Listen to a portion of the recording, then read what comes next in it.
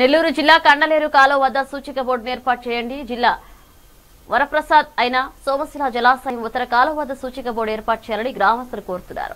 ఇటీవలే కండలేరు కాలువకు నీటి విడుదల విషయం విషయం విదితమే. అయితే దీన్ని అదునుగా చూసుకుని చాపల మాఫియా జాలాలను పంపించి కండలేరు కాలువ వద్ద వేట సాగిస్తున్నారు.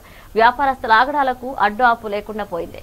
జాలర్లకు ప్రమాదశాత్తు కాలు జారిపడే సందర్భాలు కూడా ఉన్నాయి. అయితే ఈ విషయాన్ని అధికారులు గుర్తించి కండలేరు కాలువ వద్ద అధికారులు సూచిక బోర్డులు ఏర్పాటు చేసి జాలర్లను అదుపులో ఉంచాలని పలువురు అంటున్నారు.